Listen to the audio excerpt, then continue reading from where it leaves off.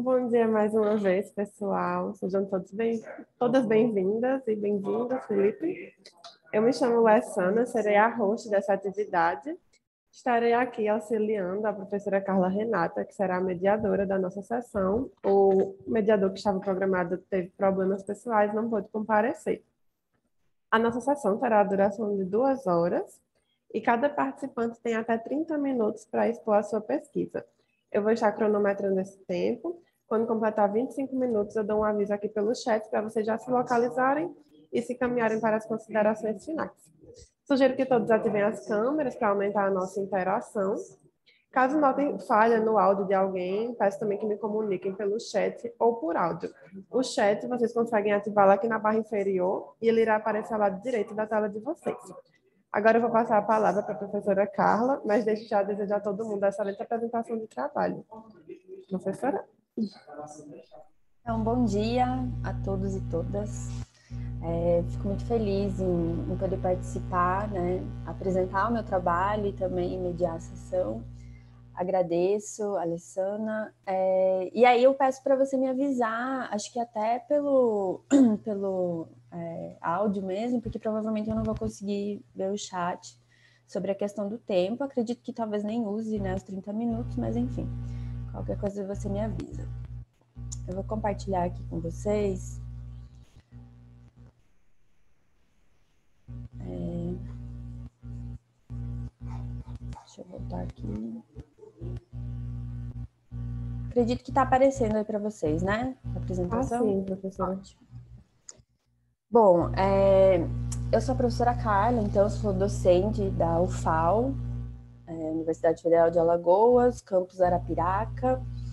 Tenho pesquisas, é, fiz né, durante o mestrado e o doutorado. É, o meu foco de trabalho foi com a Cecília Meirelles, e as relações dela com Portugal, né, no mestrado com a questão de crônicas de viagem, e no doutorado eu trabalhei com é, a análise da participação da Cecília em algumas revistas portuguesas, né? E ao mesmo tempo a interação dela com outros escritores, correspondências, é, enfim. Então tive a oportunidade, né? Numa época em que a gente era muito favorecido com questão de bolsa também e doutorado sanduíche pude, né, tive o privilégio, que hoje em dia acho que a gente pode dizer que é o privilégio de viajar para Portugal, fazer um sanduíche na Universidade de Lisboa e aprofundar esse estudo, né, das relações dela com Portugal.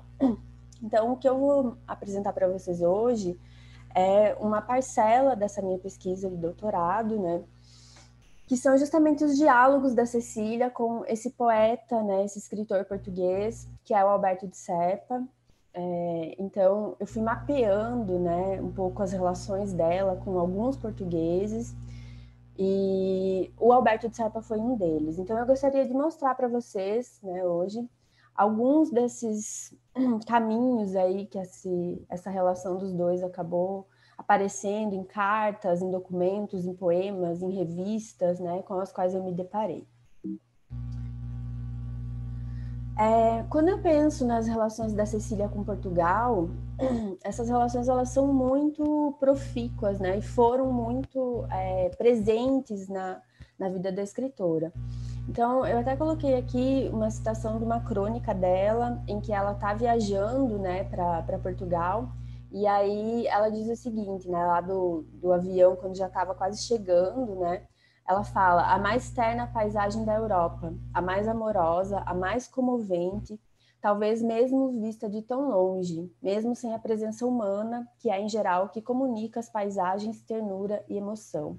Né, ela tinha um carinho, um apego e um apreço por Portugal que foram uma coisa sempre muito latente na experiência né, da Cecília. Isso porque, entre outros motivos, né, Cecília tinha uma relação, essas relações familiares e de ancestralidade muito fortes com Portugal. Então, a família dela era uma família portuguesa, né? Os pais faleceram, ela foi criada pela avó açoriana. Então, ela cresce com todo esse ideário, né? português também à volta dela. Ela foi, é, houve um trânsito, que eu chamo aqui de trânsito literário, muito profícuo, né? Então, ela tinha um diálogo, ela é, conseguia uma inserção no meio literário português, que foi uma coisa assim é, muito expressiva, né? Então, os portugueses acolheram a obra da Cecília, gostavam da Cecília, louvavam a Cecília, de uma forma que às vezes até no próprio Brasil ela não encontrava essa recepção, né? Se a gente vai pensar no contexto em que ela produz, no boom do modernismo, é, muitas vezes, em várias cartas, ela se ressentia muito, né, dessa recepção à obra dela no Brasil. É, e em Portugal não, né? Então é, isso foi uma coisa que eu tentei explorar também no, na minha tese, né? Havia já um certo solo mais propício para a recepção da obra da Cecília em Portugal. Então acaba que ela, né, esse trânsito literário por lá foi muito favorecido, tanto que ela publica em várias revistas, ela estava sempre na imprensa, fazendo conferências, então ela era uma persona muito é, é, bem vista, né, lá em Portugal. E aí, esse trânsito literário também era favorecido pelos amigos portugueses, né? Ela tem relações, assim, muito sólidas com esses amigos que ela faz lá e que acabam favorecendo, inclusive, esse próprio trânsito literário. É, Para a gente ter uma ideia, né, disso que eu estou chamando trânsito literário, a Cecília, ela publica, né, que eu consegui mapear em pelo menos nove publicações, nove revistas lá em Portugal, revistas, jornais, periódicos, que circularam entre o final da década de 20 e início da década de 60, né? Então são várias publicações aí das mais variadas. Muitas vezes os poemas dela ainda não tinham sequer sido publicados em livro aqui no Brasil e já estavam saindo em revistas lá em Portugal, né? Então a gente pode dizer que a primeira recepção de muitos poemas foram essas revistas, é, poemas que, é, sei lá, iam demorar quatro, cinco anos para sair aqui em livro, já estavam circulando lá em Portugal através desses periódicos. E aí, é, mais especificamente, né, dentro dessas relações aí, eu né, é, escolhi esse recorte de pensar um pouquinho com Alberto de Serpa. Essa relação dela com Alberto de Serpa, então, ela foi marcada por uma proximidade aqui que eu estou chamando, né, tanto nessa dimensão pessoal, mas também muito né, nessa questão literária ao longo de cartas que ela manda para esse autor português, né, ela vai fazendo um relato, então, dessas experiências, dos desafios, das conquistas no campo literário. E aí, esse diálogo entre os dois também foi favorecido justamente pelas conexões que o próprio Alberto de Serpa tinha com essas revistas, né, em que a Cecília publicou. Então, é, como ele estava presente, por exemplo, a revista de Portugal, ele é, trabalhava ali, né, nos bastidores da revista. Isso favorecia com que ela também publicasse. Então havia né, essa presença do SERPA e esse diálogo entre eles acabou se estreitando. Eu trouxe aqui um exemplo para vocês é, de algumas cartas, né? E essa foi uma questão que a Cecília relatou em várias cartas para amigos portugueses, que foi um embrólio que aconteceu, né? Em virtude da indicação dela para receber um prêmio né, da Academia Brasileira de Letras pelo livro Viagem, em 1938. Esse prêmio né, foi um marco na carreira da Cecília, porque a gente pode né, é, vislumbrar que ela obteve um reconhecimento maior aqui no Brasil depois desse prêmio, mas houve toda uma polêmica envolvendo esse prêmio. E a Cecília relatou em mais de uma carta né, é, como ela se sentia em relação a essa polêmica toda que se gerou. E aí ela fala para o Serpa, né? Então eu trouxe um trecho da carta aqui para vocês observarem né, esse teor de intimidade que ela mantinha com o Serpa. Ela diz o seguinte: Eu tenho andado aqui numa roda viva. Mandei à academia um velho livro para um concurso de poesia.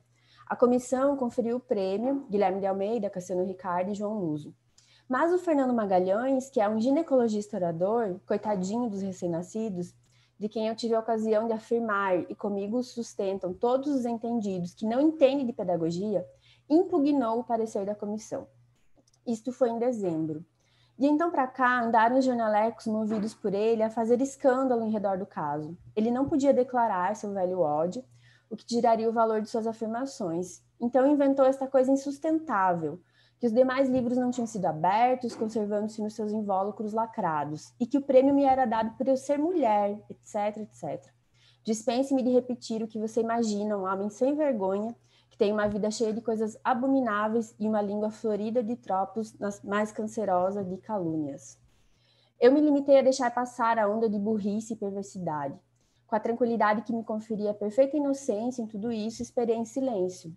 Não se preocupe com o caso. Os meus amigos sabem que eu nasci tão bem dotada para o sofrimento que quando me fazem alguma barbaridade é o mesmo que se atirassem um peixe ao oceano para se afogar.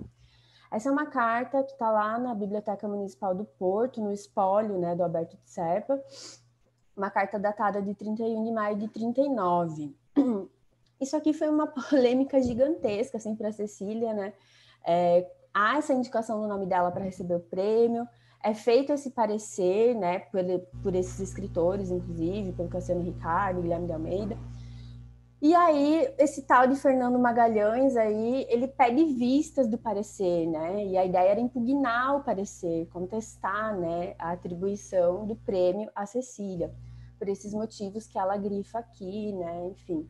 Então, ela relata em mais de uma carta, né, essa situação com a Academia Brasileira de Letras e com esse sujeito aí que impugnou o parecer.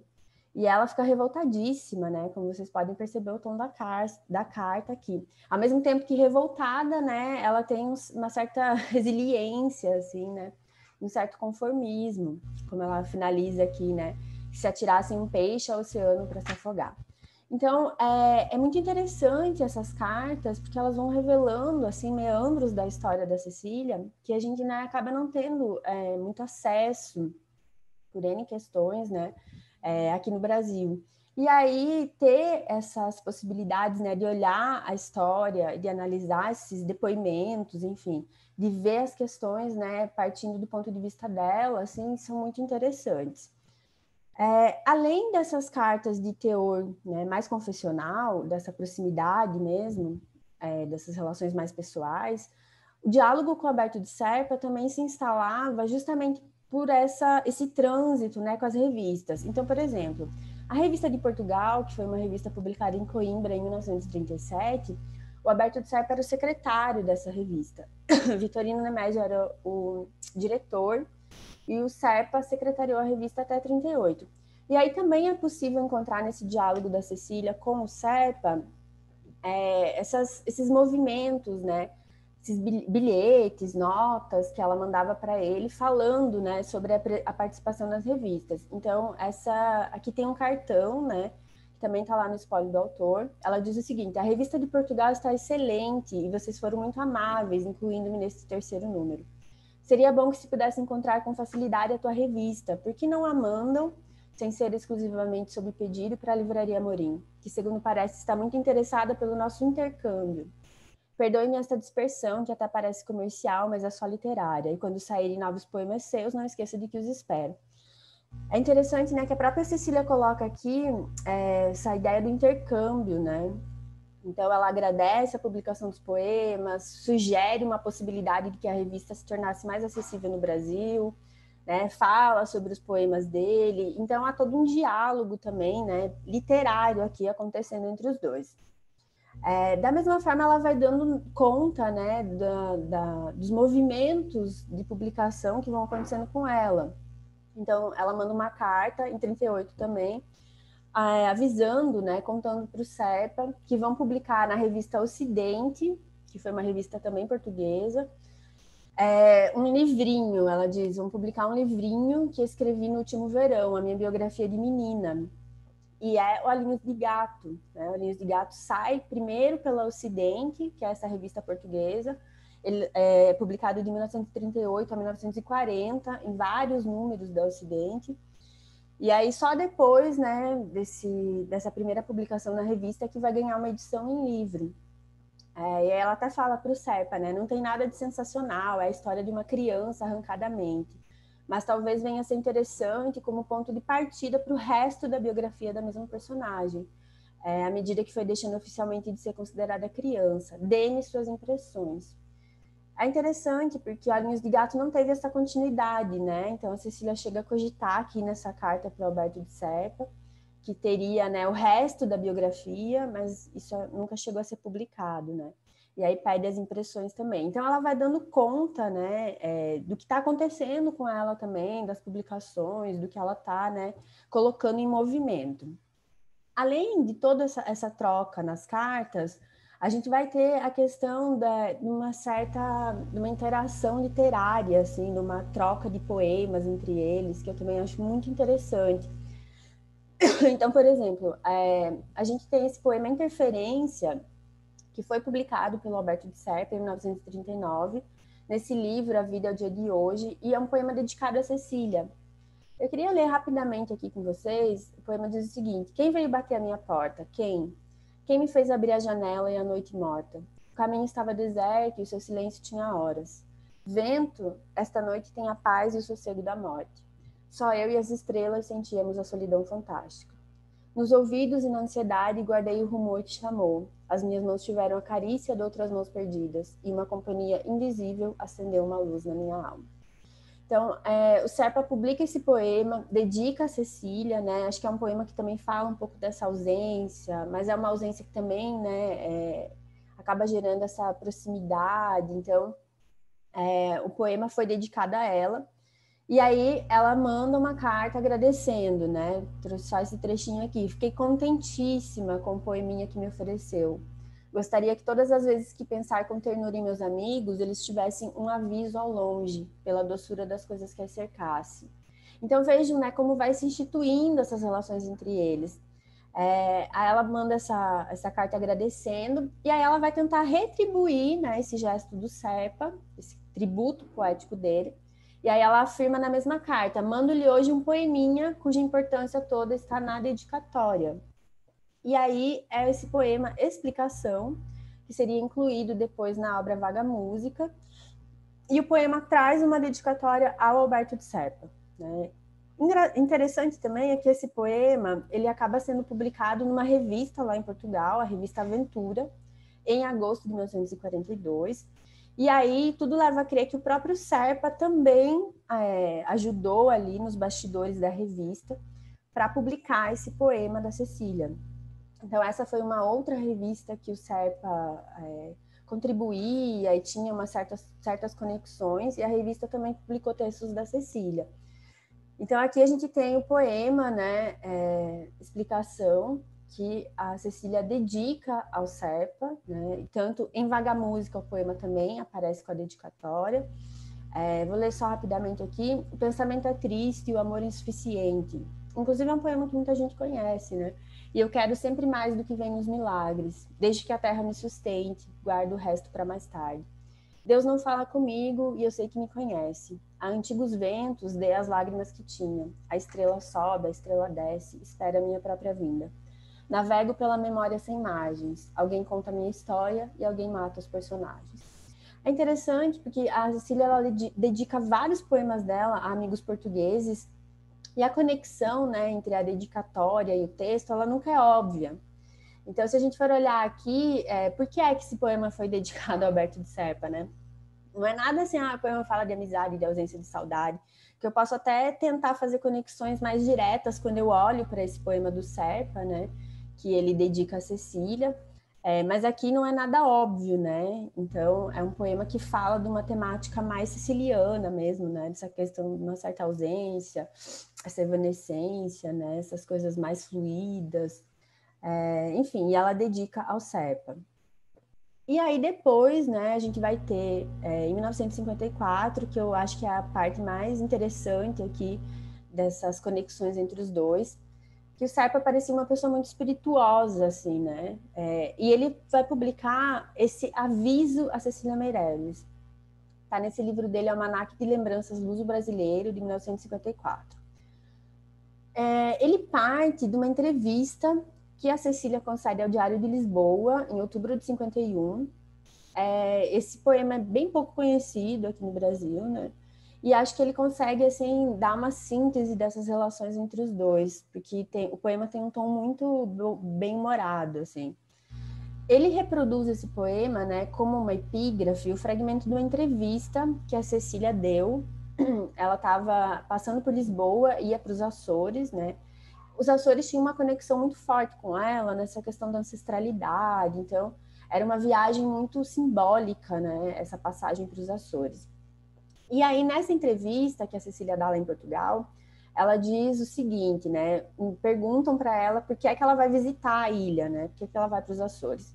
E aí ela diz o seguinte: sou descendente de açorianos e como me falaram num galeão cheio de ouro, afundado na Graciosa, quero lá ir ver essas riquezas maravilhosas da antiga Atlântida. Então ela faz essa brincadeira, né, dizendo que ela estava indo lá para os Açores atrás desse navio aí cheio de ouro, né, que estava afundado. E aí o Serpa pega, né, esse trecho da entrevista e ele é, acaba criando, né, é, um poema tendo isso como mote. Então, essa brincadeira né, em torno do navio recheado de moedas, a Cecília já tinha falado sobre isso com um outro poeta açoriano, que é o Armando é, Cortes Rodrigues. Ela dizia que ela ia encontrar esse navio cheio de, de ouro, né, e que ia fundar o reino da poesia. É muito engraçado, né, porque ela ia recolher o ouro e fundar o reino da poesia. E aí o Alberto Serpa cria né, esse aviso para Cecília Meirelles. Então ele diz o seguinte: Cecília Meirelles, Cecília Meirelles, não tendes receios do fundo do mar? Há peixes terríveis, cuidado com eles, que são bem capazes de vos devorar. Cautela, Cecília, temos mais razões. Dai por terra firme os mais nos vossos passos. Por aqueles fundos pode haver tritões. Não falam, coitados, mas têm olhos, braços. Por aqueles fundos pode haver sereias. Dai os vossos passos onde tenhais pé. Não são bem mulheres, mas quase, são meias, e mesmo metade sabemos o que é. Anêmonas, hidras, esponjas, corais, eu bem sei, amiga, como há de ser belo. Podem ter as nossas paixões humanais e sentir inveja do vosso cabelo. E o galeão vago de que sois escrava, coragem, Cecília, para entrares lá, aquela água pura ali, lava que leva, que brancos nos ossos dos mortos porá. Sede vagarosa, vagarosa e cauta, mesmo em terra nossa, que fados, que fados, deixar esses sonhos continuar em alta nas ondas serenas dos versos sonhados. É, então, ele tem, o poema tem essa característica de aviso, né? Porque ele tem muito esse tom intimista, ele vai chamando a Cecília, né, pelo nome, se refere várias vezes, né, a ela. É um aviso justamente dos perigos do mar, né? Dessa busca pelo galeão cheio de ouro. Então ele vai dando, né, essas advertências, né, e motivos para que ela não fosse atrás disso. Então, é um poema muito bem humorado, né? Ele tem essa, essa questão muito dessa intimidade, dessa proximidade, que mostra realmente como a relação dos dois era uma relação né, é, de amizade, né? Então, que não era é, nada incomum, né? É, pensando em todos as, as, os diálogos que a Cecília mantinha com esses amigos portugueses, mas a gente consegue perceber aqui por, esse, né, por essa brincadeira que ele faz, o quão próximo também ele era da Cecília. E aí a Cecília recebe esse poema, né, o aviso, se refere a ele numa carta datada de março de 52, que na verdade é uma das últimas correspondências que eu localizei, né, dela com ele. Então, quando ela volta dos Açores, ela manda essa carta. Ela diz o seguinte: Gostei muito do seu poema, que não merecia. O galeão lá ficou. O Cortes Rodrigues seduzia-me com um escafandro de pau, com barras de ouro deitadinhas lá no fundo, à espera de um pirata valente. Eu pensei que era uma bela aventura para uma pobre quase açoriana meter-me pelo mar adentro e restituir a sua limpidez, o brilho ancestral, etc.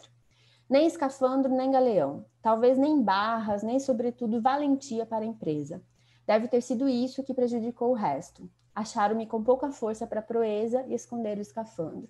Mas pense lá, se houvesse mesmo ouro e se o recolhêssemos e se pudéssemos fundar o tal reino da poesia, sem pagar impostos, claro, e se pudéssemos ficar ali no meio do oceano. Então a Cecília entra na brincadeira, né? É, com essa coisa do, do, do, galeão cheio de ouro e dessa procura de fundar o reino da poesia, enfim. Então ela mantém, né, um pouco esse tom jocoso aí nessa que seria, né, uma das últimas cartas registradas ali que a Cecília enviou para o Serpa. É, eu acho que essa relação entre os dois é uma relação muito amistosa, é uma relação de carinho, é uma relação de intimidade, é uma relação de trocas literárias é, e dá, né, nos dá a conhecer essas versões da Cecília que para nós aqui é um pouco difícil, né, a gente ter essa, essa visão da autora, né. Então a gente sabe que há uma série de problemas com relação à, à publicação né, da, de obras, de cartas, enfim, da, até da reedição de certos textos. É, a nossa visão da autora ela acaba sendo muito limitada, né? A gente não tem um arquivo da Cecília, a gente não pode ir para um museu consultar, né? Olhar cartas, enfim, ter isso que também nos dá essa visão, né? É, outra visão do poeta. Então, nesses diálogos que ela manteve com esses portugueses, isso é muito interessante, porque a gente consegue realmente ter né, esse, essa visão mais ampla da autora. E eu queria até finalizar aqui mostrando para vocês uma foto que eu acho muito é, curiosa, né? Uma foto que a Cecília envia, não é para o CEPA, é para um outro casal de amigos dela, é, Diogo de Macedo e a Eva Ruda também foram amigos portugueses assim muito próximos dela. E aí ela tira essa foto numa praia, né? Achei, acho que tem a ver com essa ideia do galeão aí. É, e aí ela coloca essa dedicatória, né, para os Diogueva. Ela juntava o nome dos dois, né, que era o Diogo e a Eva, a minha sombra e eu.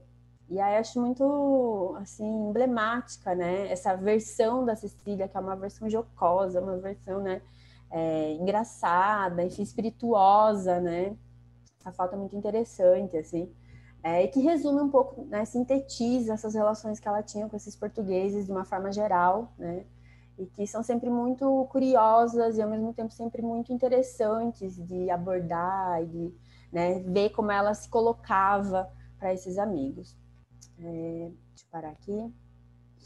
Bom, acho que era isso. Não sei se o meu tempo né, ainda tinha muito, mas enfim, agradeço, é, obrigada por me ouvirem, né?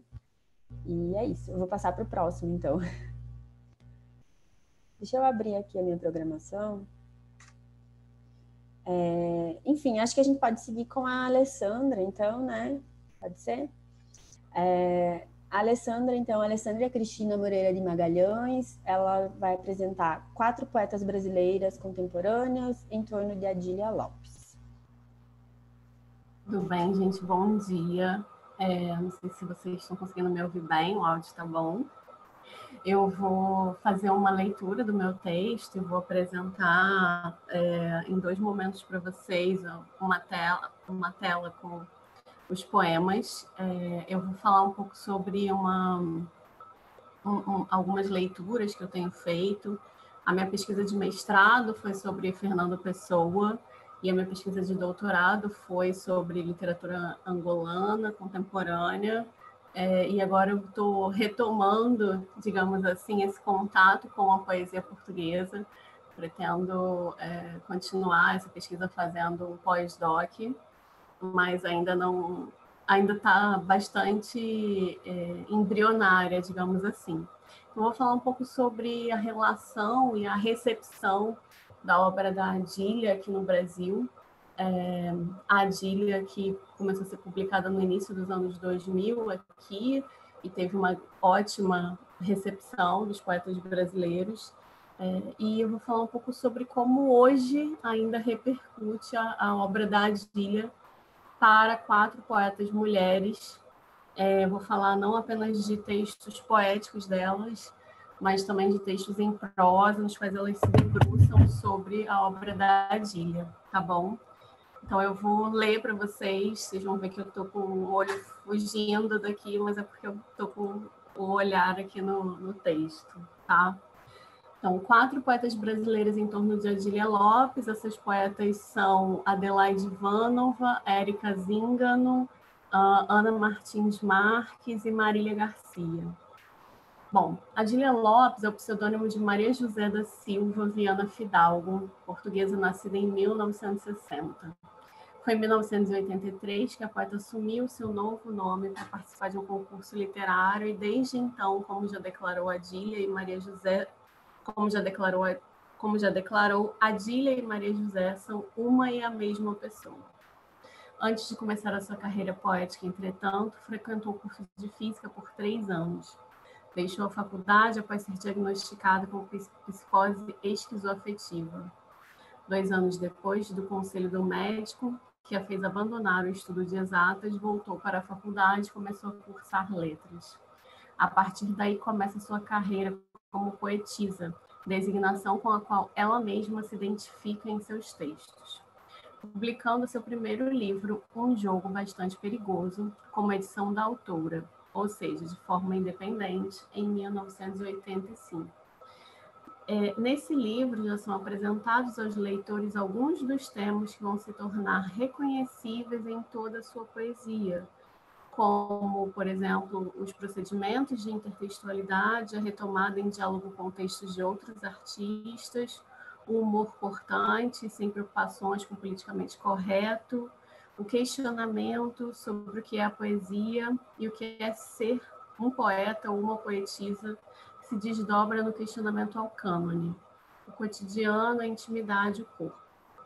Tudo isso com uma linguagem bastante crua e coloquial, que faz com que alguns críticos pensem sua obra como antipoesia, no sentido de desafiar os estatutos do que se entende por poético. No Brasil, a poesia de Adília Lopes foi publicada pela primeira vez há 20 anos na revista de poesia Inimigo Rumor, em maio de 2001, quando foi publicada a íntegra do seu conjunto de poemas narrativos intitulado O Poeta de Pondicherry.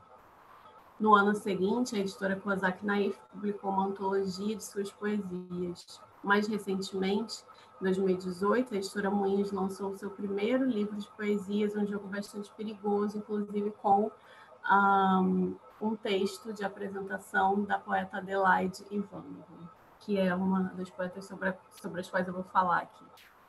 Em 2019, saíram a antologia Aqui Estão as Minhas Contas, pela editora Bazar do Tempo, organização da professora e pesquisadora Sofia de Souza Silva, e também saiu novamente pela Moinhos, o poeta de Pondicherry.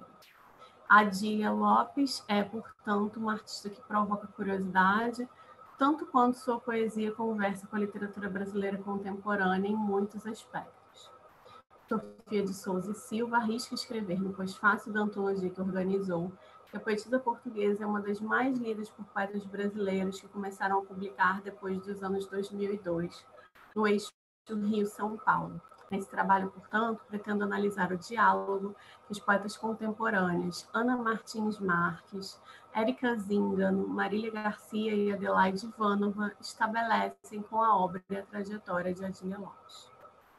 Ana Martins Marques é poeta mineira, nascida em 1977 que publicou seu primeiro livro, A Vida Submarina, em 2009.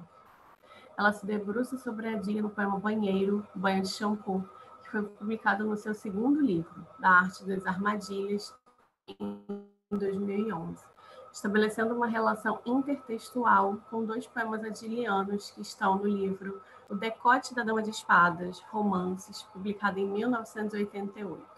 Poemas Elizabeth Foi-se Embora e No More Tears, de Adília, trazem elementos temáticos, discursivos e textuais que também estão na poesia da brasileira. A leitura do poema de Ana Martins Marques se faz necessária para compreendermos esse diálogo. Banheiro de shampoo. Banheiro, banho de shampoo. D'après Elizabeth Bishop, com alguma coisa de Adília Lopes.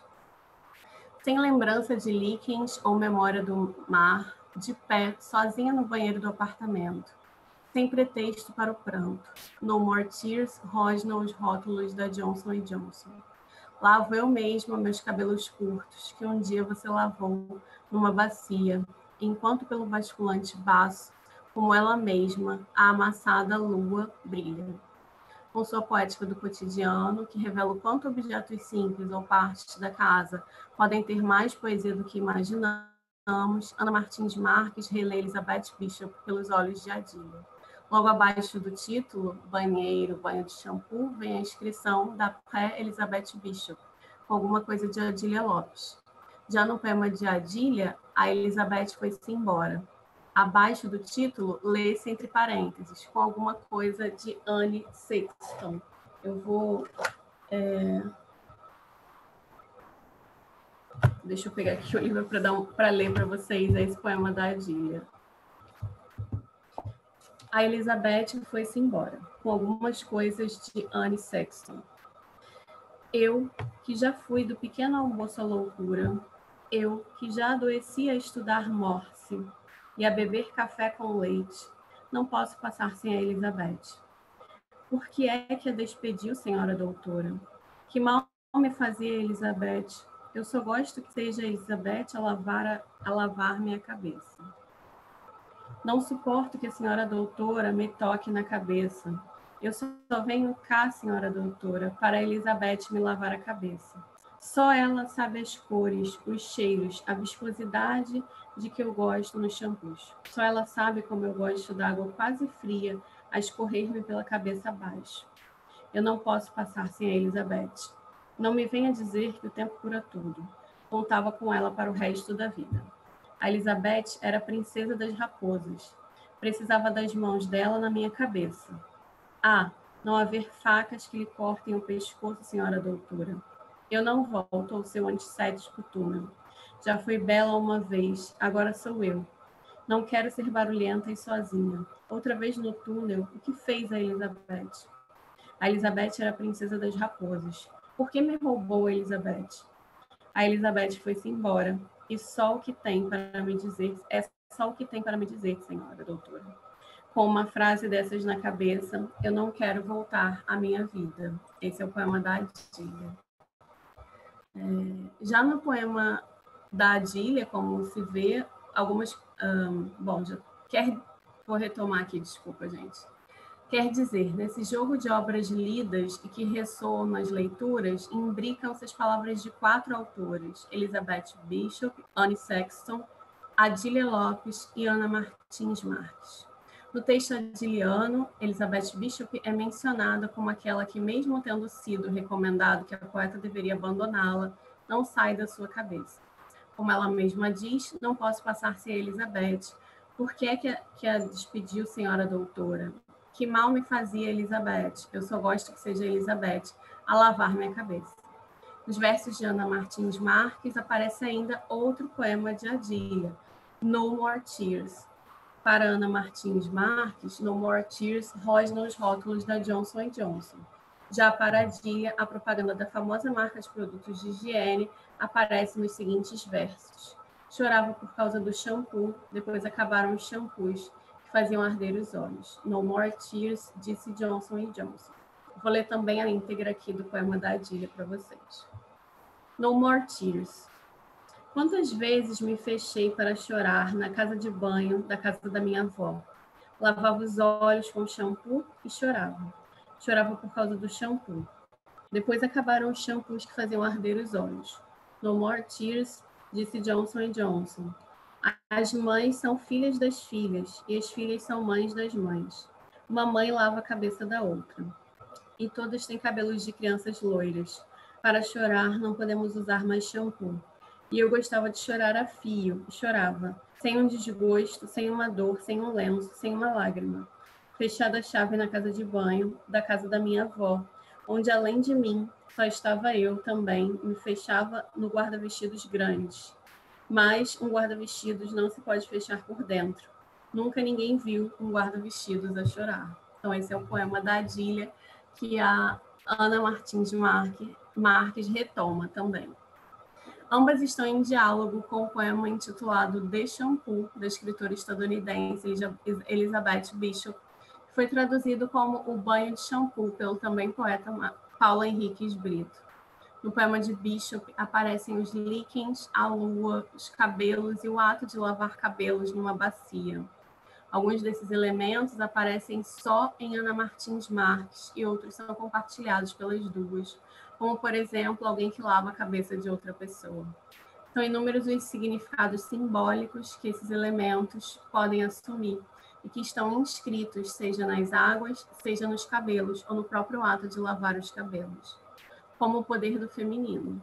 No poema de Ana Martins Marques, a menção à marca Johnson Johnson insere uma quebra no fluxo do poema, trazendo mais ainda uma realidade simples e compartilhada por muitos. Já a poeta visual, já é poeta e artista visual cearense Érica Zingano, dedica a Adília uma poesia que mais vale como uma provocação, carregando em si mesma uma questão muito presente na obra da poeta portuguesa, que é pensar sobre o que a literatura representa para ela. O poema Bilhete para Adília tem uma nota que informa o seguinte: um bilhete que não tive coragem de entregar no lançamento do livro Caixa, Café e Caracol, Lisboa, Ateliê contra a Prova 2011, na Casa Fernando Pessoa, em dezembro de 2011. Nesse poema Bilhete, Érica Zingano propõe que a Dília escolha qual seria, dentre as 17 que ela elabora, a melhor sentença. Com parênteses que antecipam os versos de cada estrofe, para quem a interlocutora marque a sua resposta com uma prova, Érica faz um exercício de linguagem, combinando os substantivos literatura, asilo e exílio, com os verbos levar e salvar. No último verso existe uma quebra de estrutura que vinha sendo usada e a negação da literatura. Eu vou colocar aqui para vocês. É... Deixa eu ver se eu consigo.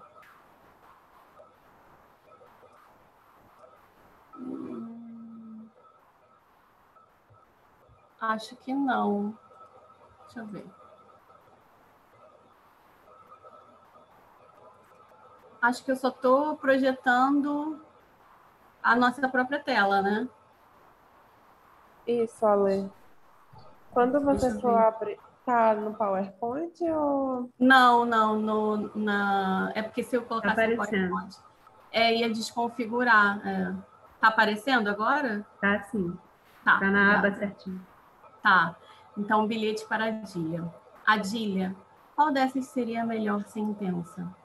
A literatura te levou para o asilo e te salvou do exílio. A literatura te salvou do asilo, mas não te levou para o exílio. A literatura te levou para o asilo, mas te salvou do exílio. A literatura te salvou do asilo e te levou para o exílio. A literatura não te salvou, não te levou para o asilo e não te salvou do exílio. A literatura não te salvou do asilo, mas não te levou para o exílio. A literatura não te levou para o asilo, mas não te salvou do exílio. A literatura não te salvou do asilo e não te levou para o exílio. A literatura não te levou para o asilo e te salvou do exílio. A literatura não te salvou do asilo, mas te levou para o exílio. A literatura não te levou para o asilo, mas te salvou do exílio. A literatura não te salvou do asilo e te levou para o exílio. A literatura te levou para o asilo e não te salvou do exílio. A literatura te salvou do asilo, mas te levou para o exílio. A literatura te levou para o asilo, mas não te salvou do exílio. A literatura te salvou do asilo e não te levou para o exílio. A literatura não. E aqui o, o asterisco, né, em que ela coloca uh, lá em cima, ela coloca aqui no título, né, essa nota, um bilhete que não tive coragem de entregar, como eu já li. Esse poema da Erika Zingano, a Erika Zingano, ela tem livros que foram publicados na Alemanha, ela ficou muito tempo radicada na Alemanha, ela está de volta aqui no Brasil, ela é uma escritora, uma poeta cearense, ela está de volta ao Brasil, mas ela não tem ainda livros completos publicados aqui. Ela tem livros que foram publicados na Alemanha. Esse poema não está publicado em livro ainda, esse poema está publicado nesse site, que é um site de divulgação de literatura brasileira. Bom, esse exercício poético que carrega em si o mesmo tom da provocação, do questionamento das estruturas, de definições que podem ser sempre intercambiáveis e cheia de novos e diferentes caminhos. Érica também está colocando em questão a biografia de Adília, que, como já disse, tornou-se poeta, nasceu como poeta depois de um diagnóstico médico. A literatura como asilo, nesse sentido de ter, um, de ter sido um abrigo e um novo rumo. O exílio também é uma outra escolha da poeta, cujo recolhimento não é absoluto, mas que também não é figura muito presente em feiras, eventos literários ou nas redes sociais. Adília, em seu primeiro livro, escreve sobre o que pensa como sua e como sua poesia se desenvolve. Em arte poética, por exemplo, ela escreve: Escrever um poema é como apanhar um peixe com as mãos. Em outro poema do mesmo livro, ela diz: os poemas que escrevo são moinhos que andam ao contrário. As águas que moem os moinhos que andam ao contrário são as águas passadas.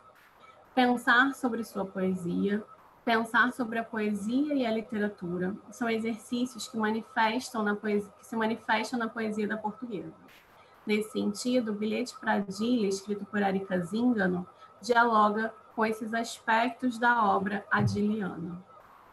A poeta, editora e tradutora carioca Marília Garcia, vencedora do Prêmio Oceanos, escreve sobre o seu primeiro contato com a poesia de Adília no texto Isso Aqui é Só um Happening, que foi publicado na edição especial da revista Suplemento Pernambuco, de fevereiro de 2021, que dedicou a capa em um dossiê à poética da poeta portuguesa. Nesse texto em prosa, Marília retoma alguns dos motes do seu poema Blind Light, publicado no livro Um Teste de Resistores, de 2014, em que fala sobre a recepção da obra de Adília no Brasil. A poeta portuguesa Adília Lopes foi publicada em livro no Brasil em 2002. Desde então, alguns escritores no Brasil dialogam com a Adília Lopes, citam a Adília Lopes, incorporam versos, tom, humor da Adília Lopes, produzindo furos na própria escrita, por onde podemos ouvir a Adília Lopes. Esse é o poema da Marília, é um trecho, né, na verdade, do poema, da, da, do poema Bling Light, da Marília Garcia. Ela retoma num texto que é nessa revista aqui, isso é um happening, que é a, a Pernambuco, não sei se dá para vocês verem, saiu o suplemento Pernambuco, especial, com a obra da Adília, e aqui é o texto da Maria, nesse formato mesmo de texto em prosa. Então, nesse texto em prosa, a Marília ela retoma é, esse poema que ela escreve, no, que ela publica, né, digamos, em 2014, no teste de resistores. É, no seu texto para o dossiê da revista, Marília afirma que a poesia de Adília impressionou, ou seja, deixou nela impressões que nem sempre são imediatamente identificáveis. Ela também fala que a poeta portuguesa provocou um efeito tsunami quando da sua publicação no Brasil, pois sua poesia reverberou na obra de inúmeros artistas. O entendimento de Marília, o humor, a linguagem coloquial e o recurso a poemas curtos com jogos sonoros trazem uma dicção familiar da tradição modernista brasileira. Não que ela esteja dialogando com o nosso modernismo, mas o seu trabalho de linguagem é reconhecível para os brasileiros. Marília afirma ainda que o que mais chama sua atenção na poesia de Adília é que todas as coisas podem caber em um poema fazendo com que referências a um mundo extremamente cotidiano convivam com referências literárias, plásticas, filosóficas ou da cultura de massa, provocando assim uma deser, deserarquização da poesia. Já a poeta e fotógrafa recifense Adelaide Ivanova, acho que eu vou colocar aqui também para vocês o, o texto da Adelaide,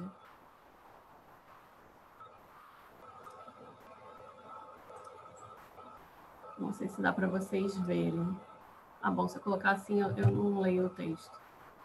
Acho que vocês estão vendo, né? Só para ver o formato e, e enfim. É... A poeta e fotógrafa recifense Adelaide Ivanova, que está radicada na Alemanha há 10 anos, escreve também na revista Suplemento Pernambuco, em 2013, o texto Para Adília Lopes, pelos seus 30 anos. O título já nos demonstra o jogo de duplicação que Adelaide propõe no seu texto.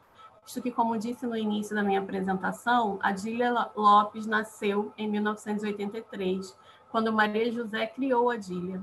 Não apenas o duplo Adília Maria José ou Maria José Adília estão refletidos nesse jogo de espelhos, mas também o duplo Adelaide Adília, já que a poeta brasileira começa o texto falando de si mesma e do seu trabalho em um salão de depilação em Berlim, de onde observa o mundo os versos de Adília. Adelaide Ivanova reflete ainda sobre as implicações do corpo na poesia e do corpo da poesia. Adelaide relembra o seguinte poema de Adília: O taxista que me leva para casa quer ser meu namorado, você deve ser uma moça porreira. E eu, tristíssima, gorda, disforme, digo-lhe que não pode ser. Pelo telefone, numa inspiração, tinha-lhe dado o meu nome e dado o meu número de telefone. O cumprimento do taxista tão gentil foi a minha paga de mais um ano de estudos perdido, a dormitar e rilhar areais. O corpo gordo de que Adília fala em sua poesia talvez a impeça de ter um namorado é um corpo insubmisso, insubordinado, um corpo dissidente, como tem sido o próprio corpo da sua poesia. Adelaide encerra seu texto, que começou em um salão de, de depilação é, brasileiro em Berlim, com a seguinte frase: livremos a Adília da expectativa de um cabelo velatom e de uma magreza que o antidepressivo tirou há muito tempo. Fica escrita e devemos nos dar por satisfeitos. Vou interromper aqui o compartilhamento.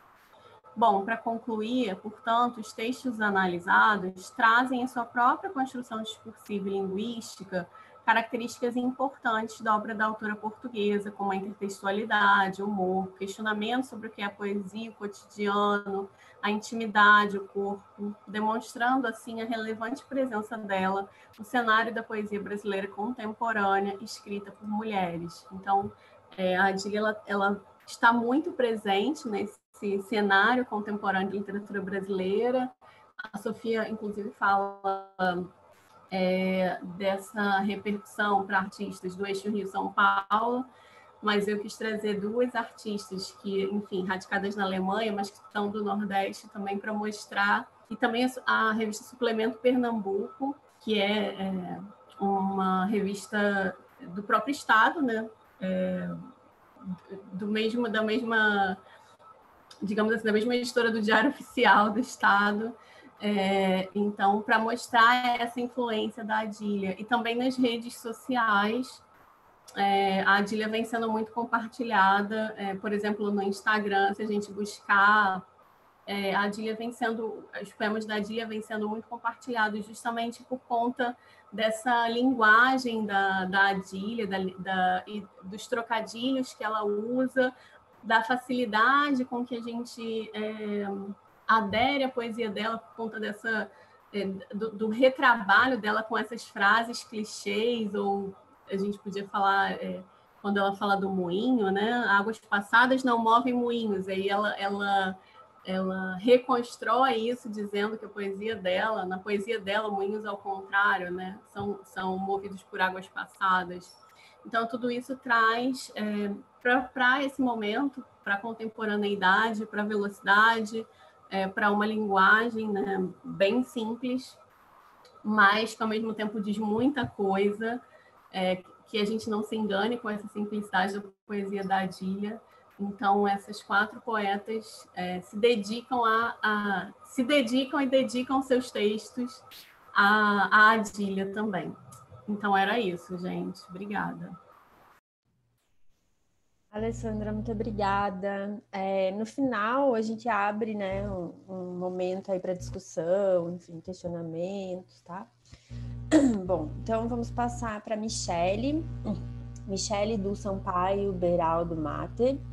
Ela vai apresentar a, o trabalho Entre Ratos e Homens, do Homem Acuado ao Ser Emparedado, pelas literaturas brasileira e portuguesa.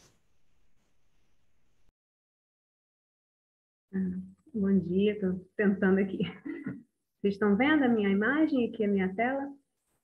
Sim. sim? Só, ela só não está a tá. tela cheia. Ok.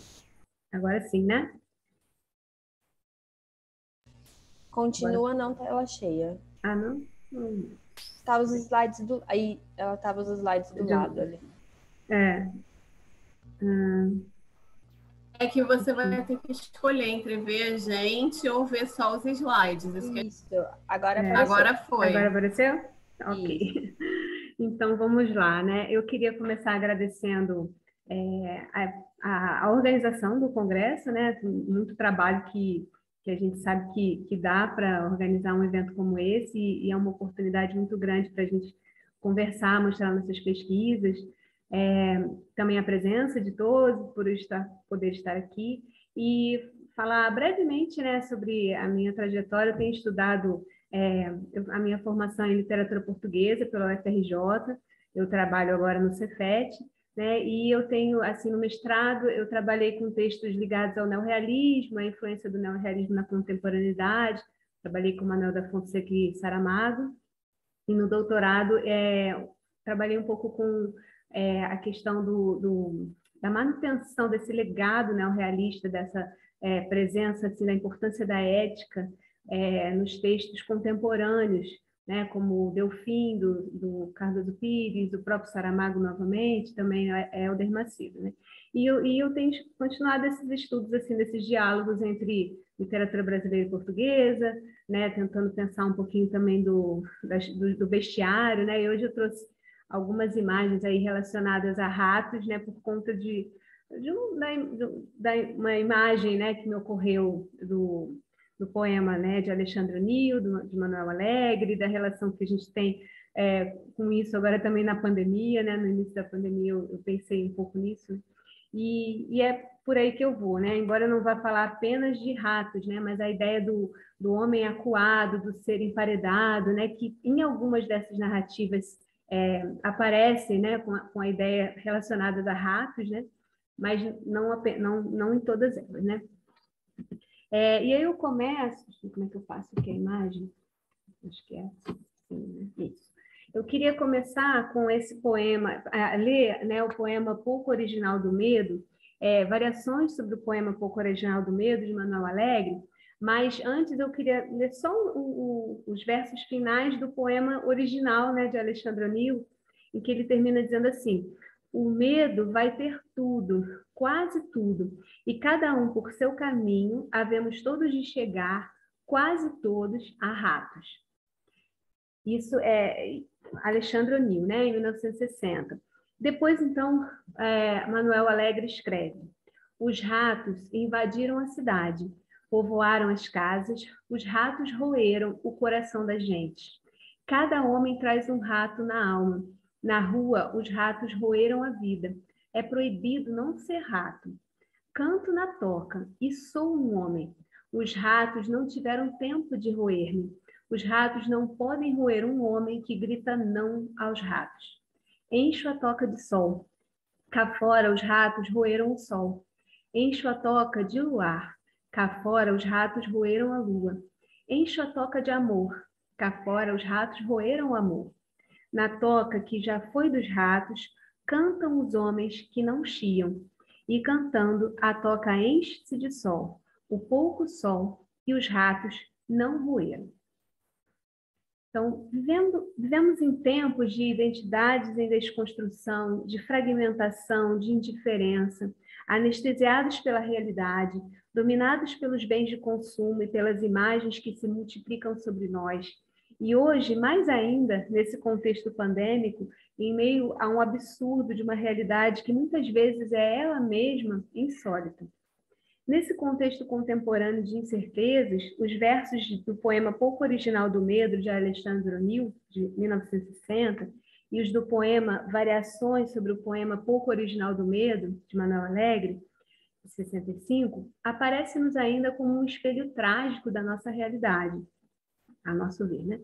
Se o medo, a vigilância, a miséria ou um contexto político opressor entre outros motivos, poderiam reduzir o homem à condição animal nos tempos dos versos de O'Neill, a resistência à desumanização é assinalada talvez como resposta na escrita poética de Manuel Alegre, quando ele diz: os ratos não podem roer um homem que grita não aos ratos. Os homens que não chiam enchem a toca de sol. O eu poético de Manuel Alegre sabe, como aliás assinala em um outro poema, que, cito, há sempre uma candeia dentro da própria desgraça. Há sempre alguém que resiste, há sempre alguém que diz não. Esses são versos de Trova do Vento que Passa. Não é essa uma bela imagem para descrever metonimicamente as vozes de tantos homens e mulheres que, com a sua arte literária, não permitem que se perca a nossa humanidade? Acreditando, como o professor e crítico de literatura brasileira Antônio Cândido salientou em seu estudo Direitos Humanos e Literatura, no caráter humanizador da arte, isto é, no fato de que a literatura desenvolve em nós a cota, né, são palavras dele, de humanidade que na na medida em que nos torna mais compreensivos e abertos para a natureza, a sociedade semelhante, fim da citação de Cândido, desejamos ler nos exemplos da arte literária experiências do ser que podem nos ensinar sobre o seu tempo, mas também sobre o nosso tempo contemporâneo. Desejamos analisar em diálogo textos da literatura brasileira e portuguesa que de alguma forma tematizam o homem em aprisionamento, em cerco constrangedor, o ser acuado ou emparedado em busca incessante, o homem coisificado ou desumanizado, perseguido ou vigiado. de Os Ratos, romance de, do modernista brasileiro Dionélio Machado, passando por imagens da obra neorrealista de Manuel da Fonseca, como Seara de Vento, passeando por imagens de certa perversão da ordem, é, no conto Seminário dos Ratos, de Lígia Fagundes Telles, chegando aos homens acuados e emparedados dos contos de contemporâneos de Murilo Rubião, O Bloqueio, ou de Saramago, O Embargo, entre outros, né? desejamos pensar sobre a experiência humana de aprisionamento, mas também de ruptura, em busca de uma nova condição humana possível. Desejamos mais uma vez ouvir os cantos daqueles que, como eu lírico de Manuel Alegre, gritam não aos ratos, pois sabem também que cantando a toca enche de sol. Porque apesar da noite que pesava no mundo marcado pela, pelo tempo da Segunda Guerra Mundial, ou pelas dificuldades sociais do Brasil dos anos 30, ou pela asfixiante opressão do regime salazarista e consequente ausência de perspectiva para o campesinato, ou ainda pelo tempo de uma ditadura militar brasileira, ou do totalitarismo do consumo contemporâneo, há sempre alguém a semear canções no vento que passa. Ou melhor, houve e ainda há vozes resistentes a dizer não e a fazer saber que era ou é preciso perverter a ordem para continuar a sonhar, ou para reconhecer e redescobrir o homem. Então, começando é, por Os Ratos, né, de Gionelli Machado, é, eu vou falar e vou, vou, vou, ler em certos momentos, né? O romance Os Ratos, de Gionelli Machado, traz à cena o ser humano levado à condição de ser acuado em busca obsessiva ao longo de um dia para conseguir o dinheiro que deve ao leiteiro, numa odisseia desviada da heroicidade comum ao gênero épico. O texto mostra o ser humano alienado pelo sistema, em busca pelas necessidades básicas, sem saber como proceder de forma correta para conseguir aquele dinheiro, e sem, de fato, resolver o problema maior da sua existência, já que contrai uma nova dívida para pagar a anterior.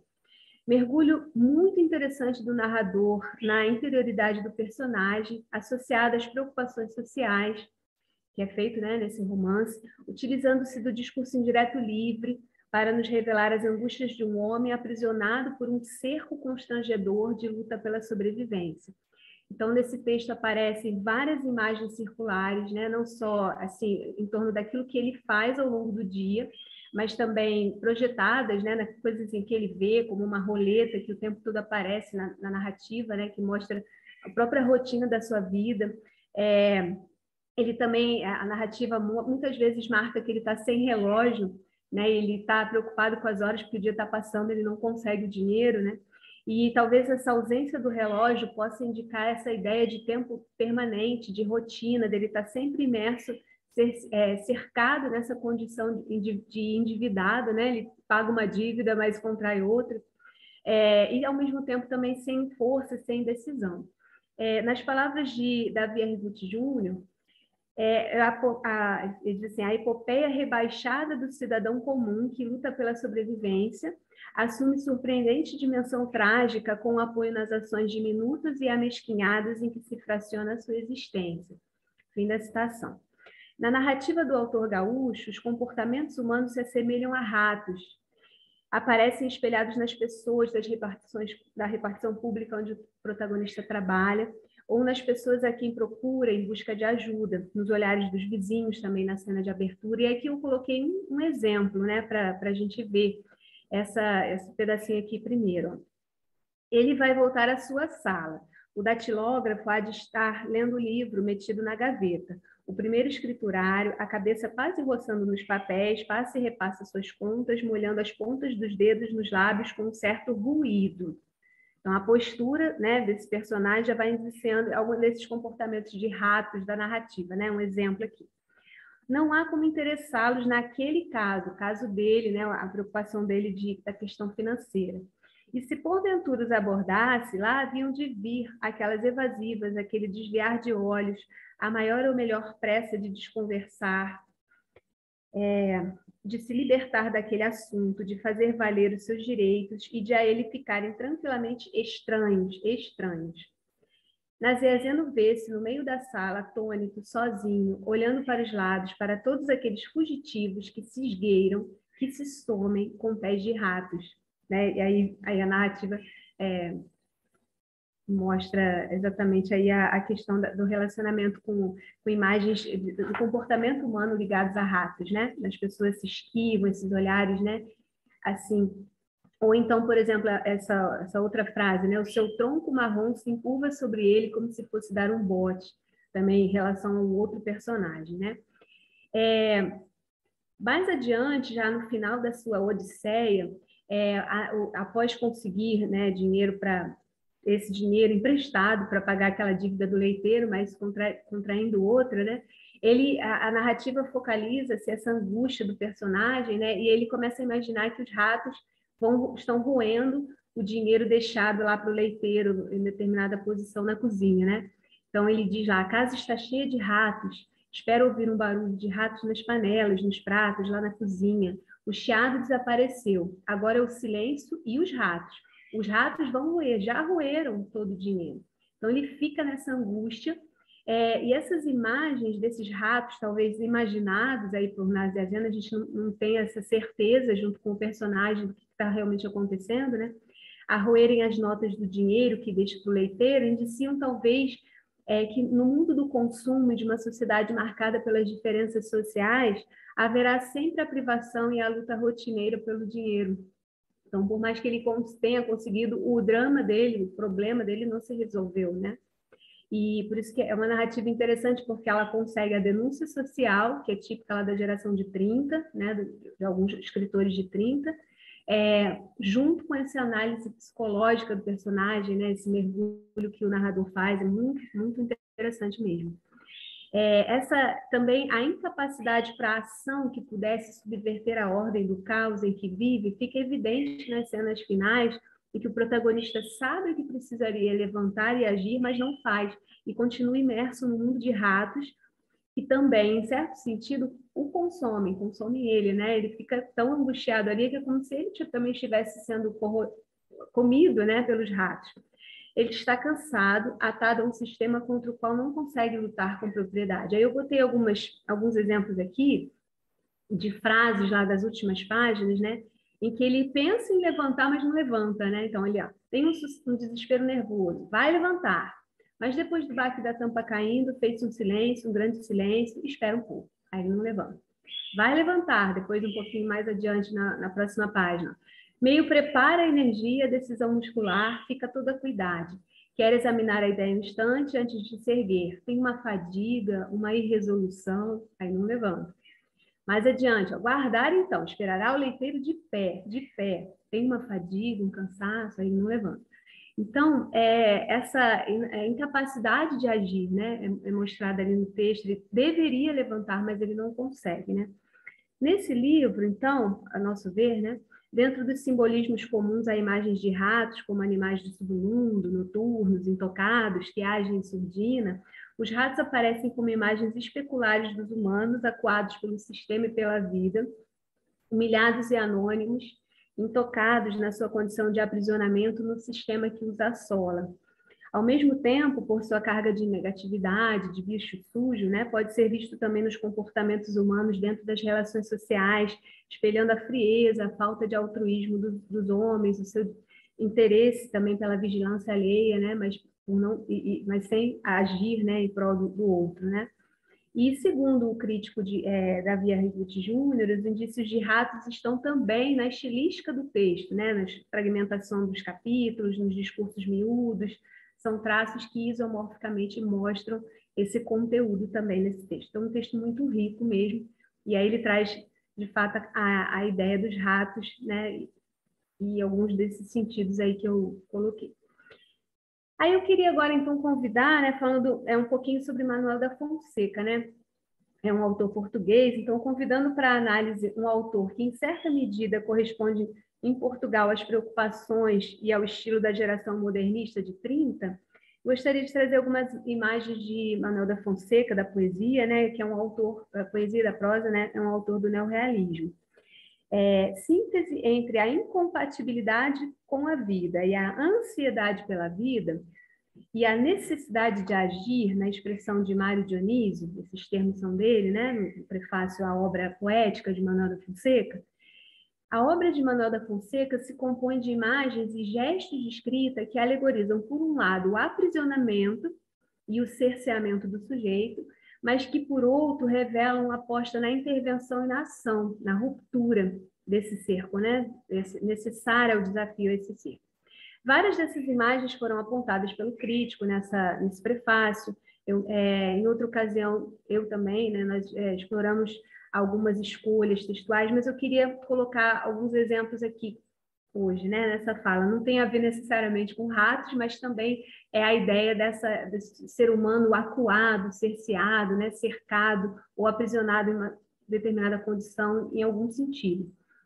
Então, a imagem do cerco e do aprisionamento é evidente no poema maltês de Planície, em que um vagabundo cercado pela guarda é trazido ao largo como um espetáculo público de imposição do poder.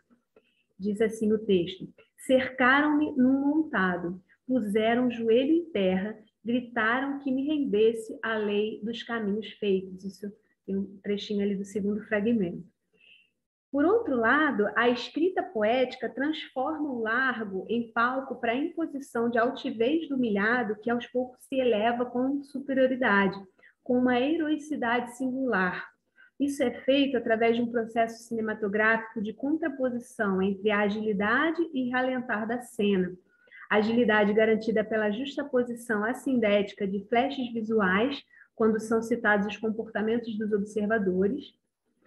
É, contrapondo-se ao ralentar da cena em que o prisioneiro entra no largo cercado de dez guardas armados, que é conseguido através do corte da oração principal pelos apostos que especificam as qualidades desse herói em desvio. E aí eu cito, né, para contextualizar isso, né?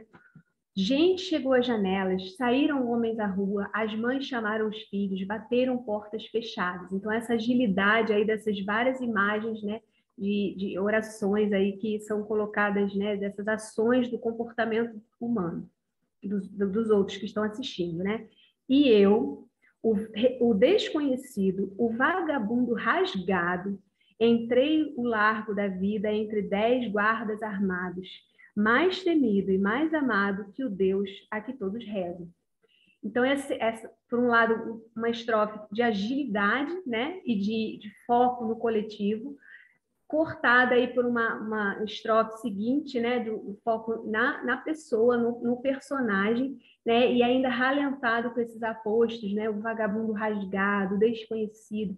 Então, joga o foco ali no, no, personagem e mostra como que, na realidade, ele vai, de alguma forma, é, romper, né, ou mostrar uma, uma, uma luz, né, uma candeia acesa aí, para usar a imagem que a gente estava é, tirando, né, que é muito comum na, na, na, obra de Manuel da Fonseca, né, essas imagens de aprisionamento, mas ao mesmo tempo de, de ruptura, de, de ensinamento de alguma coisa, né. Num outro poema chamado Planície, essa sensação de letargia e passividade do espaço também denuncia essa atmosfera de aprisionamento. E no conto é, é, Campaniça, né, a gente também tem vários significantes assim que mostram essa, essa de aldeia nova, né, um outro conto que fala da, da, de uma aldeia cercada é, no fundo de um córrego, cercado de carrascais, no meio do descampado, no fundo do vale. Então, são várias imagens assim de, de aprisionamento, né, de ruptura, como se tivesse uma tampa né, em cima do homem. Mas e, o conto em si também é circular, né? Mas ao mesmo tempo há vozes ali que sonham com um futuro melhor. Não dava, não dava para explorar muito essa, essa cena, né, em virtude do tempo. Mas é, eu queria falar de, um, de, uma outra obra, né, que também é muito famosa, que é a Seara de Vento, né? Trazer pelo menos um pouquinho dela aqui, de 1958, o romance. Um bicho no fojo, um bicho caçado. Essa é a metáfora que se atribui, por sua vez, o personagem Antônio de Valmurado na Seara de Vento. E é sintomática da, da imagem de, da condição do homem emparedado por um sistema que o impede de viver com dignidade, e o leva a agir em revide, como um bicho acuado. Aliás, a antroponímia do seu nome, né, de Vale Murado, né, o Antônio de Val Murado, cercado, obrigado a envolver-se no contrabando, sem se aprovar, vingando-se à própria maneira, né, já indicia isso. No entanto, apesar do aparente desfecho de derrota, afinal, Palma é caçado e morto implacavelmente, né, como um bicho acuado ali, né, não é um rato, mas poderia ser, né? É, Palma é caçado e morto, né? A narrativa se finda, apesar disso, né? Com uma imagem que pode ser lida como uma candeia acesa de esperança, um canto a encher a toca de sol, pois é dado aos homens um testemunho vivo de que a luta individual não é a saída e de que, afinal, está na união dos homens a possibilidade de vencer as barreiras. Então, é, essa, algumas palavras aí do final do texto. Ó. Por todos os lados, o confuso clamor de imprecações, apelos, pragas aumenta cada dia mais, cada vez mais. Exaltados, os camponeses tentam vencer a barreira formada pelas guardas. Então, há a imagem do cerco, né? Ouçam, o grito obriga-os a levantarem a cabeça. No alto do cerro, junto à orla das estevas, Amanda Carrusca aparece de mãos erguidas. Digam à minha neta, digam-lhe que ela tem razão. O homem só não vale nada. Ouve-se como que um gemido soltado por dezenas de bocas e os camponeses atiram-se para adiante. Então, uma imagem de, de rompimento, de ruptura desse cerco, né, projetada aí para o futuro. É, um outro texto que eu queria trazer brevemente, né, tem que ser muito breve, porque né, são muitos textos e as escolhas difíceis, né, mas eu queria trazer o Seminário dos Ratos, de Lígia Fagundes Teles, que é um conto de 77, e que é publicado numa coletânea de contos homônima, né, que parece trazer também à sua maneira uma, uma mensagem de ruptura da ordem, assim como né, esse final de Seara de Vento, ao findar com uma cena marcada pela iluminação. Novamente nos deparamos agora com ratos e com várias leituras que se pode fazer desses ratos, das suas ações, né? Então, a gente tem um seminário dos ratos acontecendo, na verdade, são políticos que se reúnem já no sétimo seminário para resolver o problema né, de que há muitos ratos que estão invadindo a, a cidade, o país, o local, né?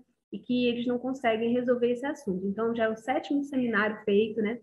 Lá na RATESP, é, para resolver esse problema, né? E aí a gente pensa, quem são esses ratos na narrativa, né?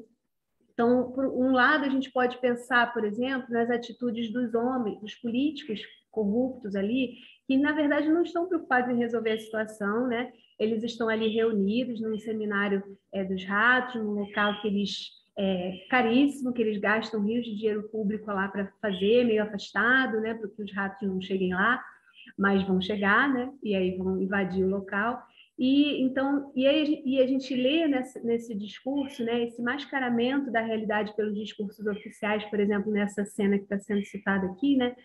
Para que botar todo mundo a par de nossas mazelas, de nossas deficiências? Devíamos só mostrar o lado positivo, não apenas da sociedade, mas da nossa família.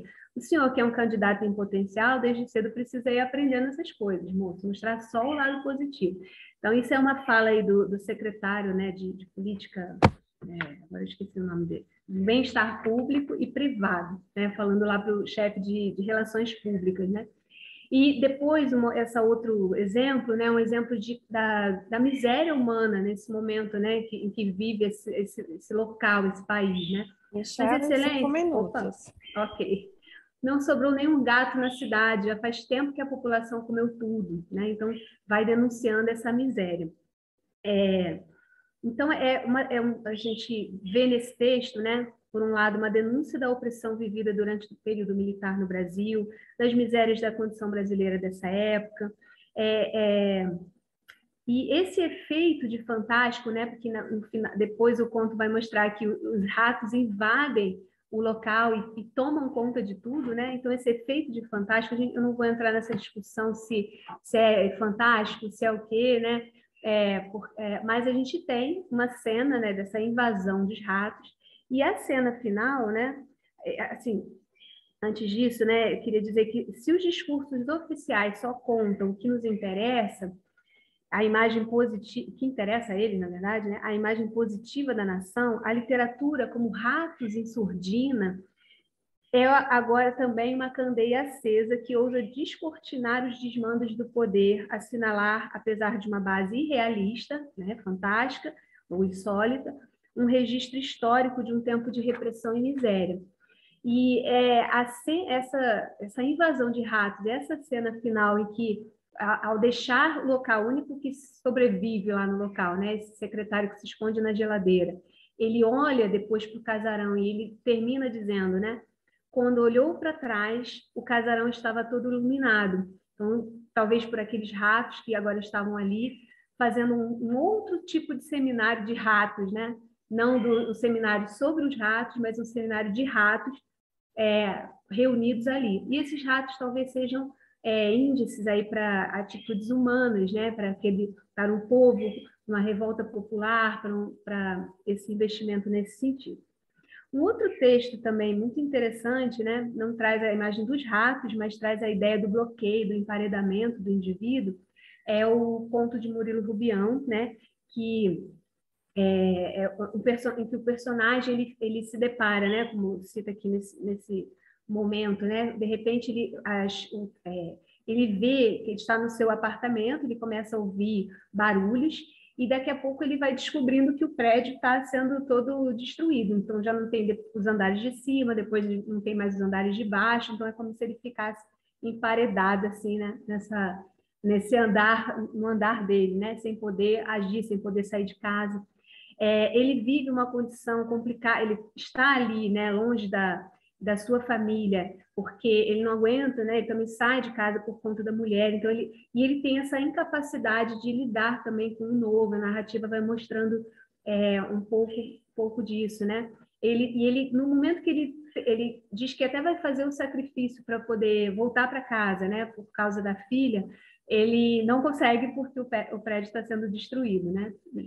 E depois ele também, quando ele resolve, ah, vou ligar e vou falar coisas para a mulher lá, é, ele também é interrompido pelo fio do telefone que, que, que, é cortado, né? Então, o tempo todo ele é bloqueado, ele é emparedado ali, ele não consegue agir, e é uma narrativa, assim, que termina também, né? É, usa esse efeito do fantástico e tentando denunciar também algumas essas restrições sociais, essas relações sociais complicadas, né? E talvez o tempo também da própria escrita da narrativa essa ameaça constante de alguma coisa que não se sabe o que é, dessa máquina que destruidora que ele não consegue saber o que, que é, de onde vem, né? Então essa essa falta de causalidade da, das coisas, né?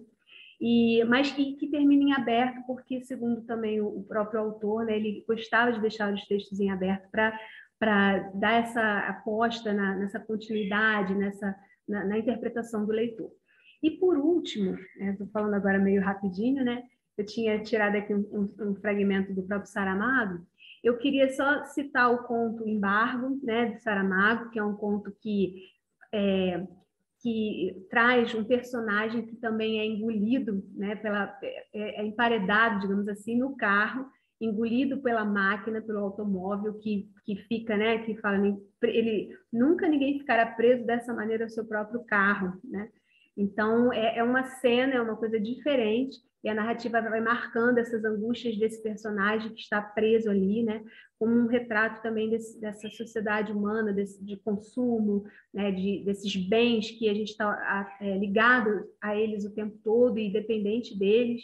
E quando então ele ele está embargado, assim como há o embargo, né, da questão da gasolina nessa época, uma questão histórica, ele também está embargado ali preso no carro, né, sem sem conseguir agir. E, e, segundo o professor Caio Gagliardi, né, da USP, publicou um texto né, sobre esse livro, sobre esse conto, agora na revista Metamorfoses, no ano passado, né, ele tem é um, é um, é um embrião aí para um ensaio sobre a cegueira, né?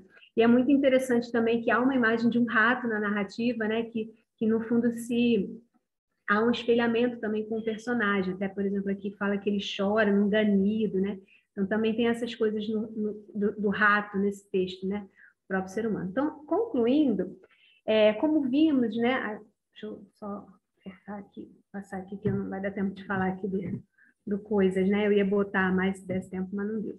Então, concluindo, como vimos, escolhemos aqui falar de imagens e estratégias narrativas de obras literárias que tematizam o aprisionamento e cerceamento do sujeito em sua condição, o ser humano acuado como ratos, por conta de uma realidade social específica ou das suas próprias escolhas. Entretanto, muitas dessas obras revelam também uma possibilidade de ruptura dessa condição, erguendo-se como candeias acesas na noite dos homens, cantos dos que ainda sabem que cantando a toca enche-se de sol.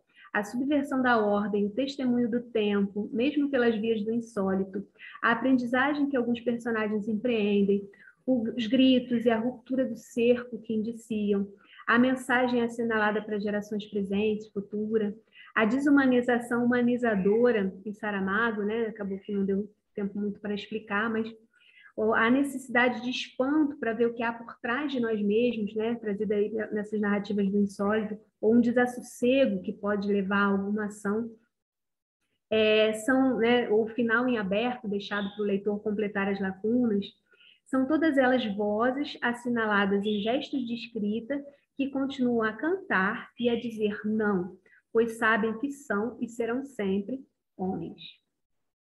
É isso.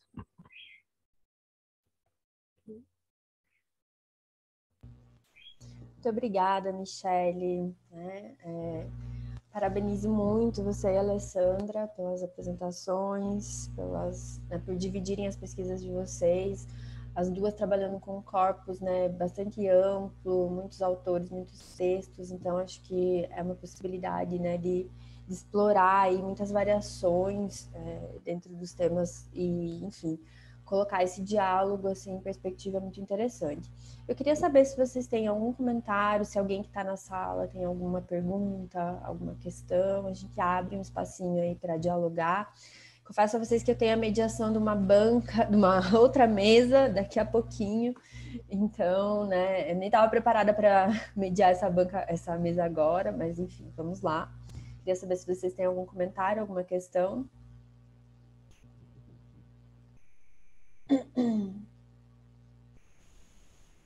Então, eu gostaria de falar rapidamente, né, é, Pra, primeiro para a Alessandra, eu gostei muito dos textos que você apresentou, mas me chamou muito a atenção particularmente o da Érica. Né? É muito interessante, assim, não conhecia, fiquei muito, muito curiosa até para saber mais desse diálogo que ela propõe. É, é, esse bilhete, é, pelo que você falou ali na, que aparece aquela nota da publicação, é, houve um encontro entre elas. Gostaria até que você recuperasse um pouco essa história. então, pra... ela, ela vai né, em 2011 a esse lançamento do livro da Adia, que é um livro caixa, um livro quase que não... Teve pouquíssimas é, edições desse livro, ela vai a esse lançamento em Lisboa, na Casa Fernando Pessoa, e ela tem vontade de entregar esse bilhete, né? Pensa sobre isso e tudo mas ela tem vergonha de conversar, de falar com a Dília. A Dília é uma, uma, é, uma poeta reclusa, né? não totalmente reclusa, ela faz alguns lançamentos, palestras, mas ela é uma poeta reclusa e ela acaba não entregando esse bilhete e ela escreve em forma de poema, digamos assim, esse texto, né?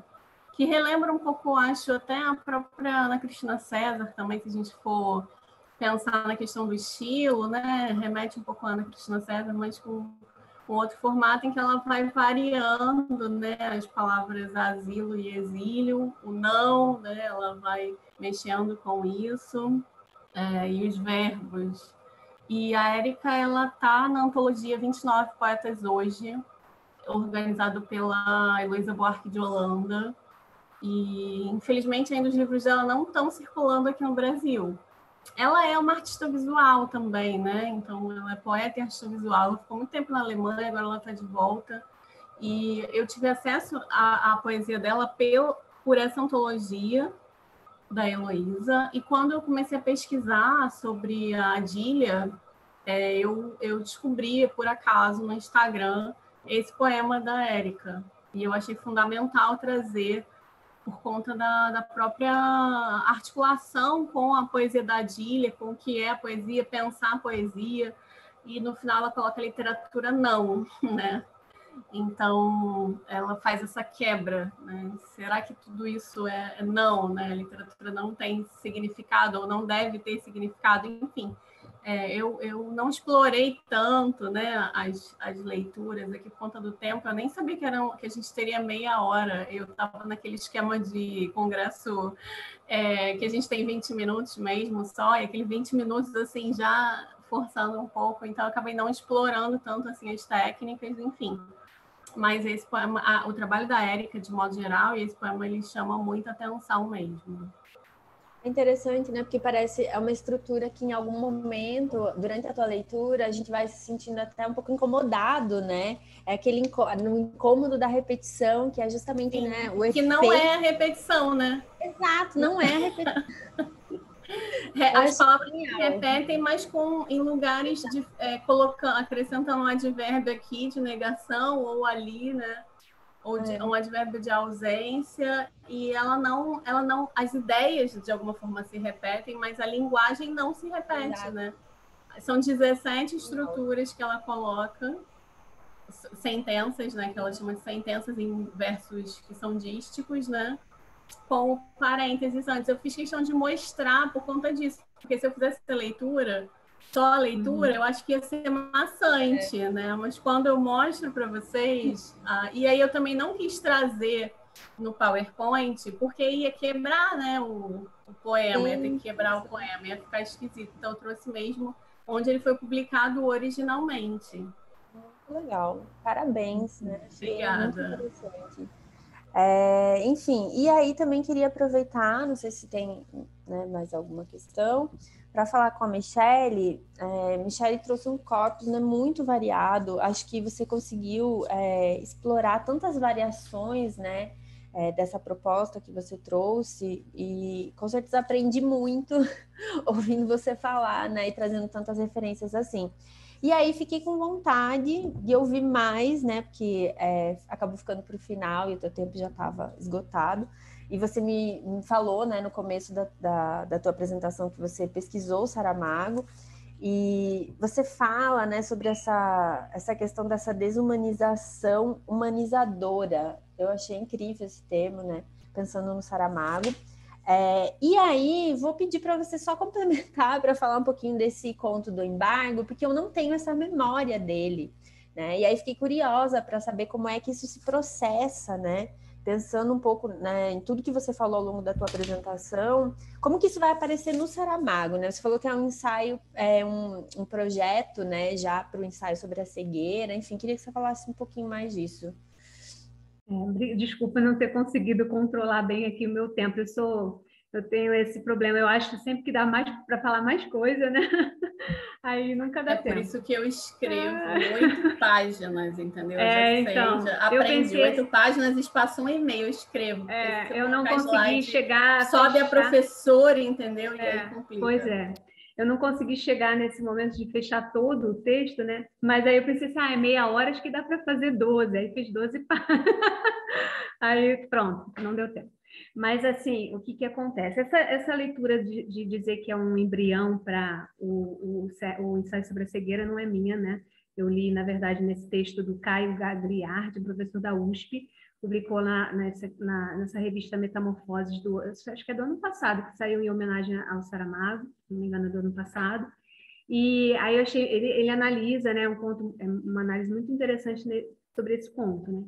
E aí, o, e, e assim, inclusive, ele também fala dessa imagem desse rato, né, que tem, que assim, é uma narrativa assim, que o personagem começa, né, o dia, já tem uns índices ali na narrativa de que aquele dia vai acontecer alguma coisa estranha, né, fala de um sonho, acordou com uma sensação aguda de um sonho degolado, né, então já usa umas, umas expressões assim que já indiciam algo a acontecer. E aí, a partir disso, ele vai, é, entra no carro, né? Ele sente alguma coisa diferente no carro, porque ele fica preocupado se o carro vai ligar ou não, porque está chovendo, está frio, não sei o quê, mas o carro funciona super bem. E aí, de repente, tá, ele começa a dirigir, e aí ele tem que abastecer, há um embargo, né? Uma questão do combustível, aí é uma questão histórica mesmo, né? Esse professor até coloca alguns detalhes sobre isso no texto dele. E aí, pronto, ele abastece. Só que aí, depois disso, ele vai num, num movimento que cada momento assim, ele que o carro passa por em frente a um, a um, a um posto de gasolina, ele entra. Aí ele, o carro mesmo, ele começa a ganhar vida, né? E se tornar inclusive o sujeito das, das frases, né, no texto.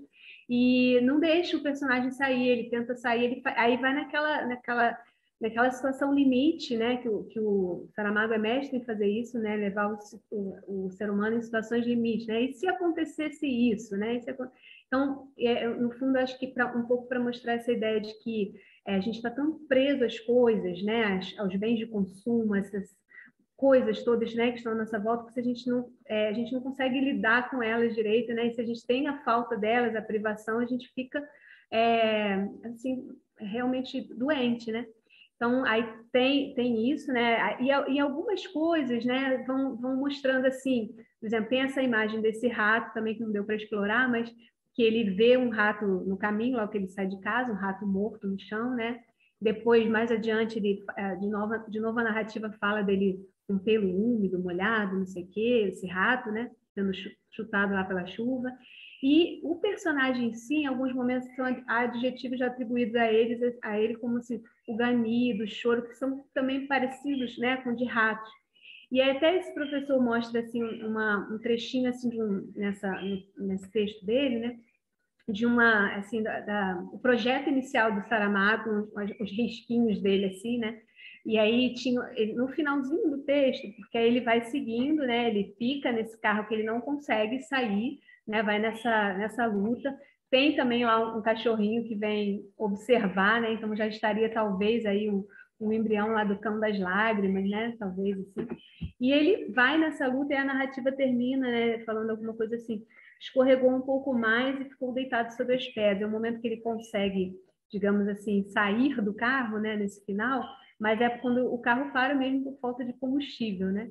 E aí no, na, no trechinho do Saramago, né, que assim aparece com as anotações dele, tinha uma frase, né, escorregou como um rato, alguma coisa assim. Só que depois ele tira, né? Esse daí, aí, segundo esse crítico, né? Assim, não precisava dizer, né? Já já estava ali, ele também, o Saramago também viu isso, né? Que tem essa relação. Então, esse conto também, o conto Coisas, né? É muito interessante também, porque as coisas vão adquirindo vida, né? E assim, é, as coisas começam a sumir, a porta, o, é é? o sofá que tem febre, né? o relógio que, que é, em determinado tempo ele para, né? E as pessoas, então as coisas vão sumindo, né? E o personagem vai, vai andando pela cidade, o governo também está lá, tem uma política instaurada para tentar descobrir o que está acontecendo, né? Então é uma narrativa assim que, que pega a ver do, da, da questão do insólito, do, do fantástico, né? Que vai acontecer também sai sobre a cegueira, para no fundo para mostrar como que que nós agimos nessas situações, né? Então, o ensaio sobre a cegueira, né? Acho que esse termo desumanização humanizadora, eu acho que me veio mais por conta até do ensaio sobre a cegueira, que não era nenhum objeto aqui da, mas eu acho que nesse sentido assim desumanizar, porque era necessário tirar o homem daquela condição de daquilo que já se espera, né? No ensaio isso fica muito evidente, né? Que eles são colocados lá no manicômio, que é retirado tudo deles, né? Que é é, que eles viram, né? Eles ficam como bichos mesmo, né? Mas, ao mesmo tempo, aqueles que conseguem sobreviver àquele caos um pouquinho mais são aqueles que desenvolvem entre si um código de coletividade, de humanidade maior, no caso do ensaio, né? E saem juntos ali, em torno da mulher do médico, aprendem alguma coisa, né? Então, essa humanizadora nesse sentido, né? E acho que essas narrativas, esses contos, né? Também o ensaio, esses textos, eu acho que ele Saramago trabalha um pouco nesse sentido assim de, de tirar o tapete da pessoa, né? De desconcertar, de, de causar alguma coisa assim e mostrar assim é, a que ponto o ser humano quer, pode chegar, né? Mas o que, que ele pode também aprender com isso? Acho que ainda tem essa mensagem sempre nos textos do Saramago de uma aprendizagem. Talvez esse texto embargo, não sei, né? Ele termina de uma forma assim muito, né? A gente realmente em aberto, né? Mas essa aposta também no texto em aberto também é um convite sempre para reflexão, né?